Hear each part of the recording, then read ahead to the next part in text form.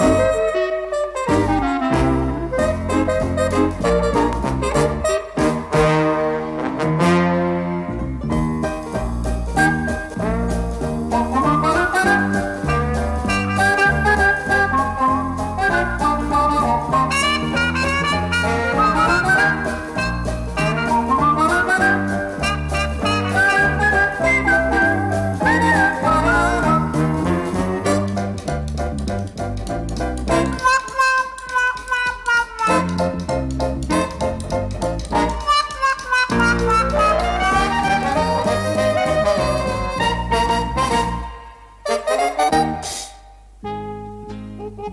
heutige Geschichte schildert in eindringlicher Weise, wie leicht die moderne Ehe in ihren Grundfesten erschüttert werden kann.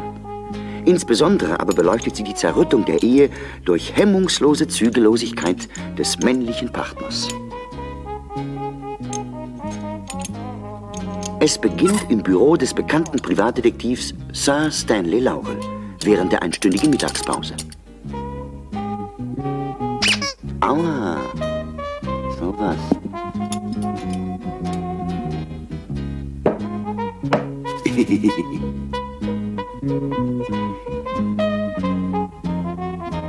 Guten Tag, Herr Doktor. Guten Tag, nehmen Sie doch Platz. Was führt Sie zu mir, Madame? Haben Sie Sorgen? Ich glaube, mein Mann betrügt mich mit jedem Weiberrock, den er sieht. Und ich halte diese Ungewissheit nicht mehr aus.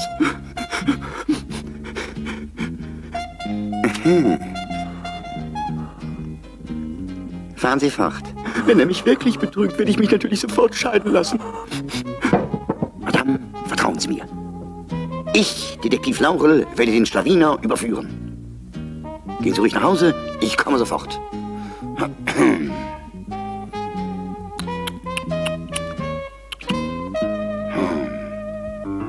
Einige Tage später, Madame Simpelmann wartet schon mit nervöser Ungeduld auf das Erscheinen ihres Detektivs, klingelt es an der Haustür.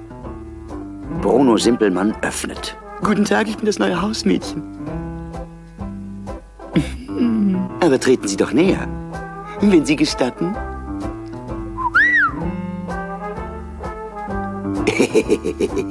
Katharina, das neue Hausmädchen ist da. Guten Tag, Madame.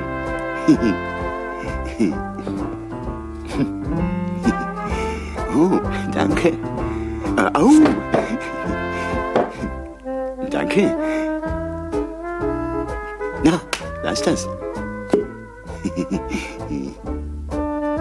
Gnädige Frau, Psst, ich bin's. bringen Sie meinem Gatten den Tee. Sie muss sich doch erst mal umziehen. Die Küche ist hier gleich um die Ecke.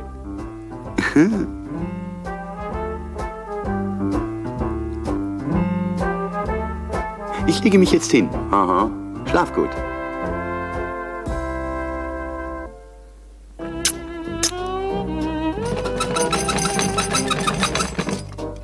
Darf ich Ihnen den Tee servieren?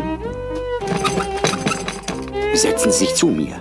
Leisten Sie mir Gesellschaft.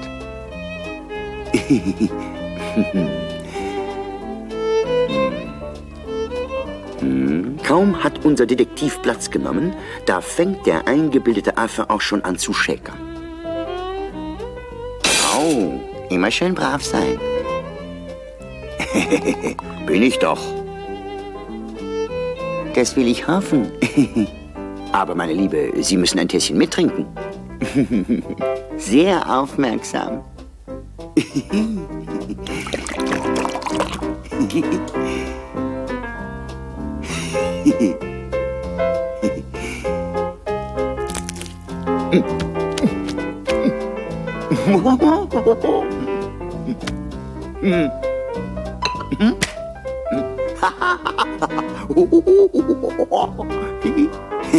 Hat sich das Mäuschen wehgetan?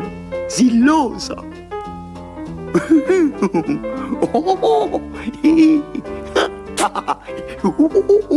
Sie kleiner frecher Fratz. Mein kleines Zuckermäuschen, kriege ich noch ein Tässchen? So etwas Süßes und Zartes, so etwas Weiches und Anschmiegsames. Auf so etwas habe ich in meinem Hause schon immer gewartet. Aua! Au!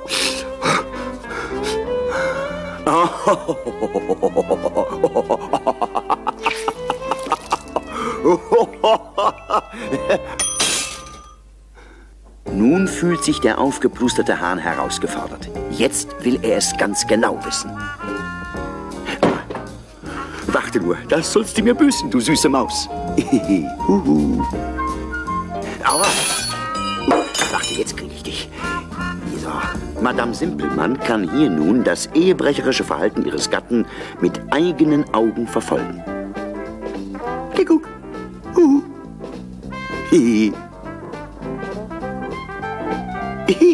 Detektiv Laurel hat jetzt genügend Beweise gesammelt und zieht sich diskret zur Formulierung der Scheidungsklage zurück.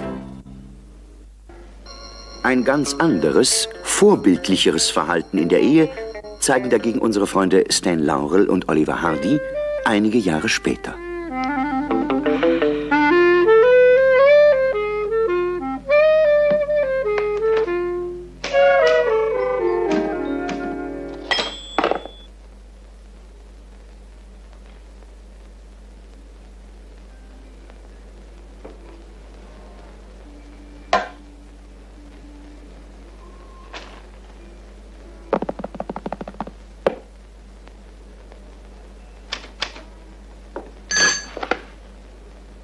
Was ist denn schon wieder? Weißt du, was heute für ein Tag ist? Nein. Es ist jetzt genau ein Jahr her, dass ich dein Schwesterchen geheiratet habe. Und du mein liebes Schwesterchen. Ja, richtig. Heute ist unser Hochzeitstag. Es war gar keine so schlechte Idee, dass wir in unsere Familien eingeheiratet haben. Das muss gefeiert werden. Wir sagen jetzt unseren süßen Frauchen Bescheid, dass wir heute Abend toll ausgehen wollen. Ja, einverstanden. Verbind mich mit meiner Frau. Wie ist deine neue Nummer? Hast du die schon wieder vergessen? Aber die hat sich doch wieder geändert. Waterloo 2, 2. 2, 2. 2, 2. Bye, bye. Bye, bye.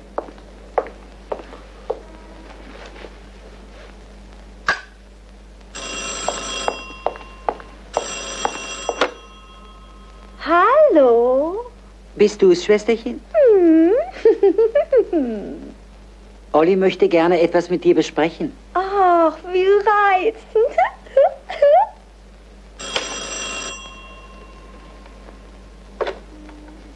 Bist du es, Liebling? Ja, mein Schnuckelputzi, ich bin's. Weißt du, was für ein Tag heute ist? Ollilein, wie kann sich denn so etwas vergessen?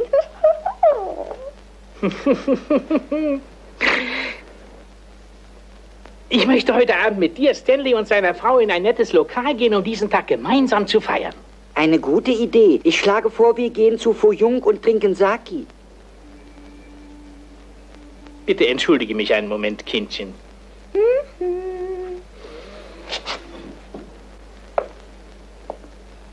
Ich muss mich doch sehr wundern. Wie kommst du dazu, meine Privatgespräche abzuhören?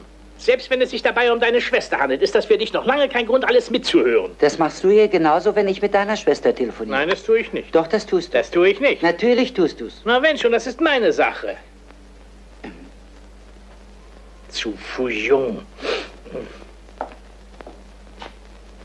Also, was meinst du dazu, Kindchen?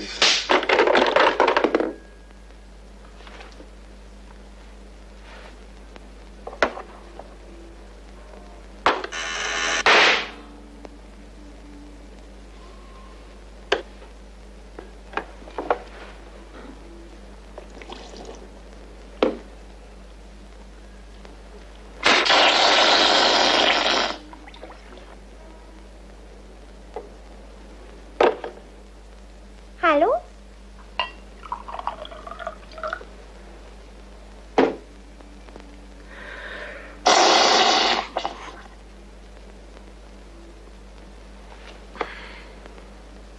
Hallo? Bist du es, Schwesterchen? Ja, Ist Fanny da? Fanny. Fanny. Was willst du denn schon wieder? Stanley ist am Apparat. Er hätte gern mit dir gesprochen. Oh, ich komme sofort.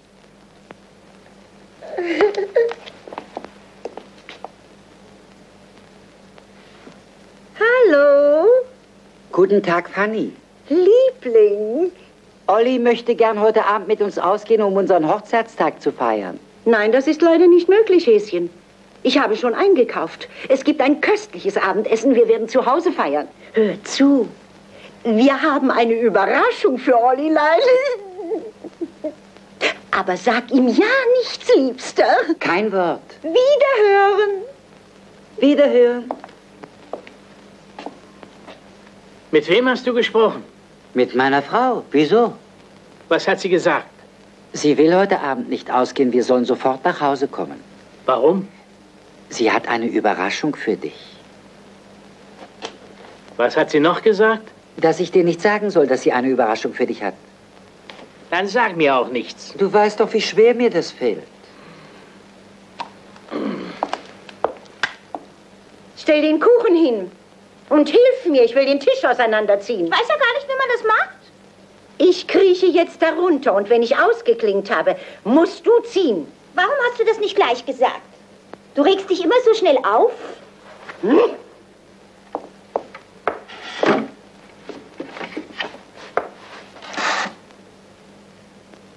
Ja gut, zieh jetzt weg.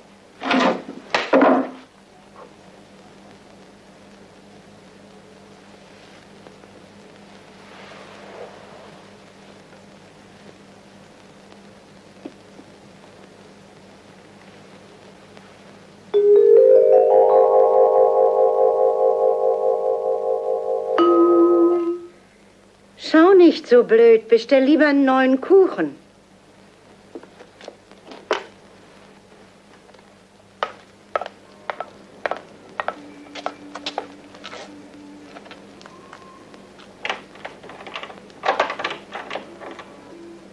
Los, schließ die Tür auf.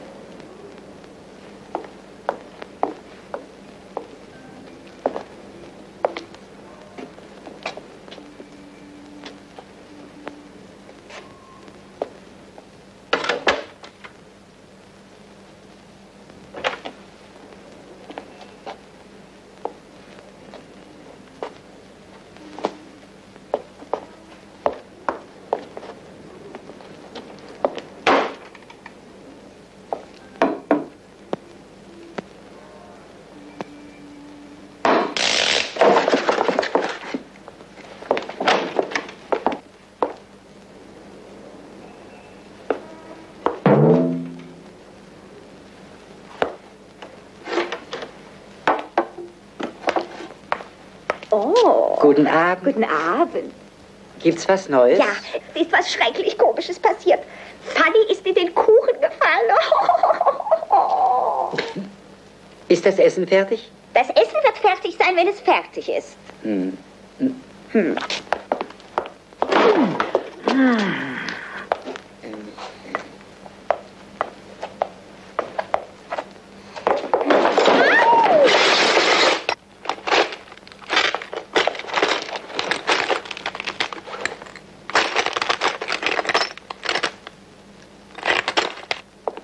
Guten Abend, Kindchen. Sag nicht immer Kindchen zu mir, du Dämlack. Wenn hier einer dämlich von uns ist, dann ist es dein lieber Bruder. Oh, wie kannst du so etwas behaupten? Den Krips, den du in deinem Spatzenhirn hast, den hat mein Bruder im kleinen Finger. Hm. Du.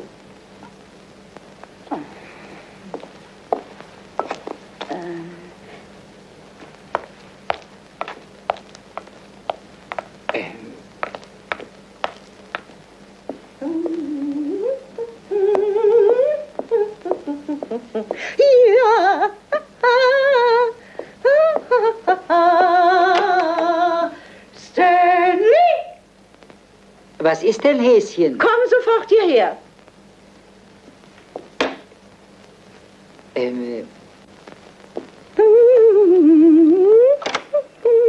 Was gibt's? Mach zuerst die Tür zu.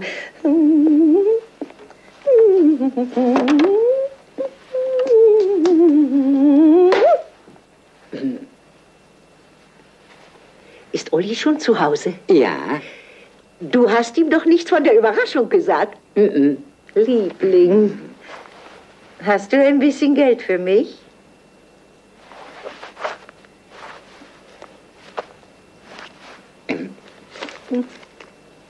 Hier sind doch noch 15 Cent.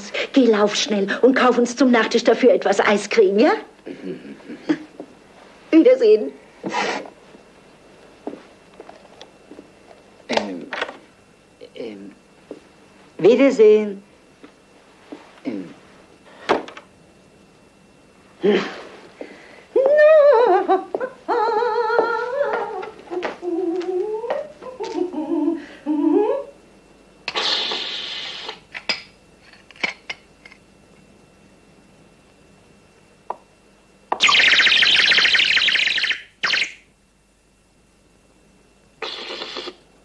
Kannst du deine Suppe nicht essen, ohne zu schlürfen? Man versteht ja sein eigenes Wort nicht.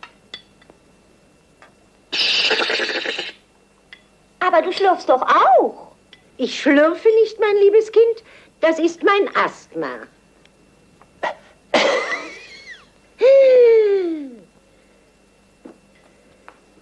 ich möchte gern für 15 Cent Eiscreme. Haben wir nicht.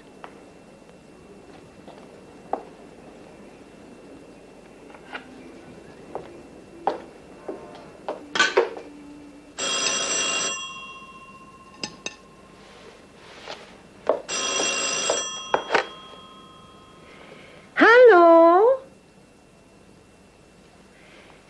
Stanley sagt, Sie haben leider drüben kein Eiscreme. Macht nichts. Dann soll er eben Tutti Frutti holen.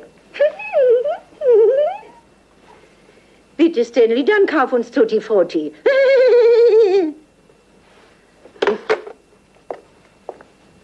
Geben Sie mir Tutti Frutti. Das haben wir auch nicht. Nicht eine Sekunde hat man seine Ruhe.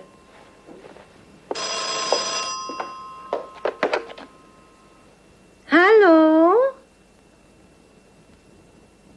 Dann bring uns Schokoladeneis. Ich hätte gern Schokoladeneis. Das haben wir erst recht nicht.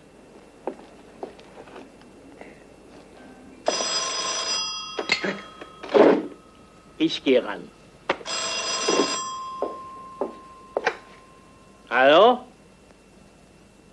Na gut, dann hol Vanilleeis oder was du willst. Also dann Vanilleeis. Das haben wir auch nicht. Was haben Sie eigentlich? Sie hören wohl schlecht. Ich habe Ihnen doch gesagt, bei uns gibt's kein Eis. Nebenan. Ach so, ähm.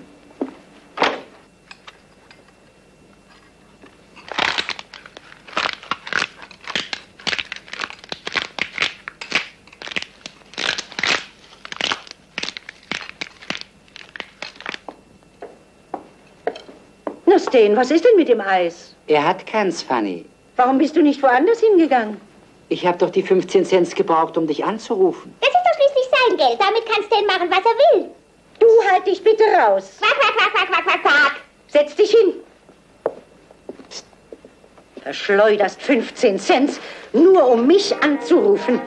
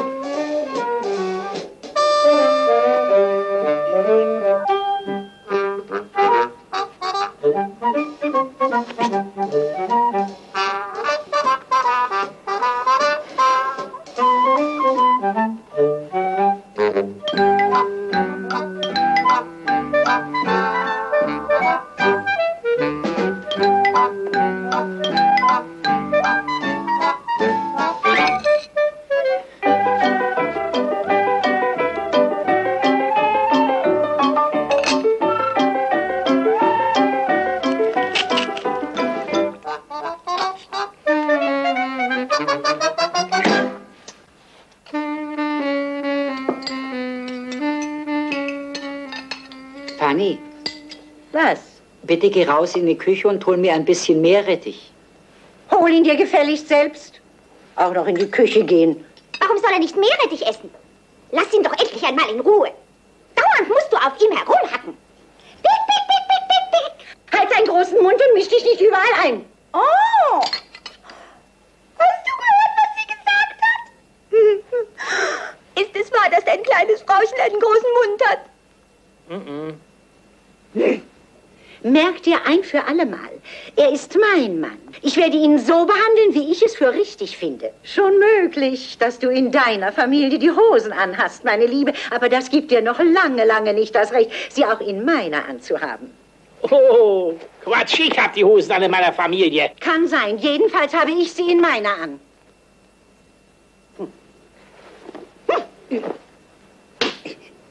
Geschieht uns vollkommen recht, Stanley. Wir hätten niemals in eine so unmögliche Familie einheiraten dürfen. Ich muss mich wirklich sehr über dich wundern. Wie kann man nur so arrogant sein? Meine Familie hat genauso viel Qualitäten wie deine Familie. Was du nicht sagst. Ja, Du scheinst zu vergessen, was wir schon alles für deine Familie getan haben. Schluss jetzt damit, ich kann's nicht mehr hören. Ich möchte endlich wissen, was für eine Überraschung auf mich wartet.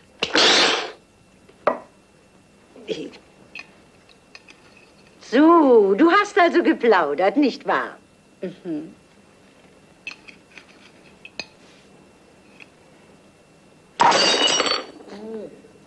Lass dir das eine Lehre sein, du Tratschliese. Wenn ich nicht eine wirkliche Dame wäre, würde ich dir jetzt die Nase rausreißen.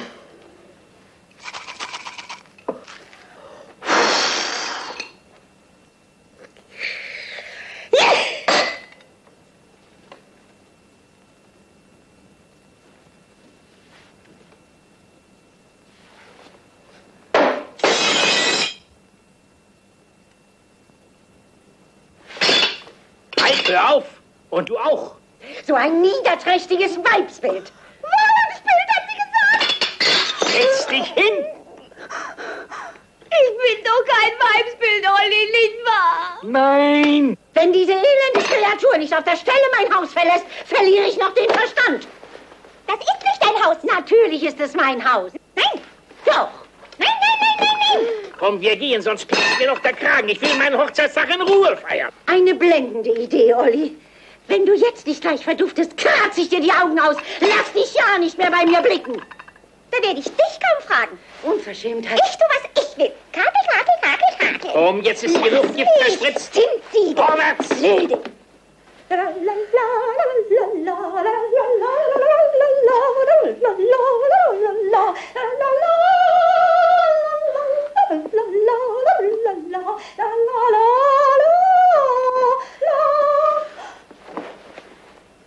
Ollilein.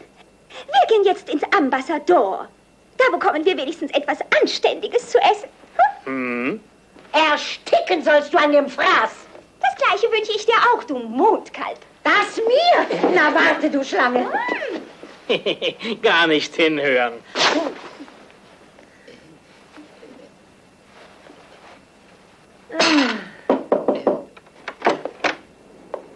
Wohnt hier Mrs. Laurel? Ja? Eine schöne Empfehlung von uns. Sie hat heute Morgen diesen Kuchen bestellt. Ach, richtig. Ich werde ihn ihr geben.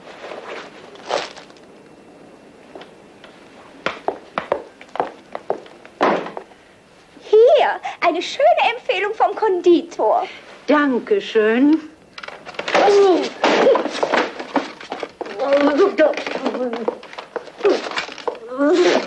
Ist was?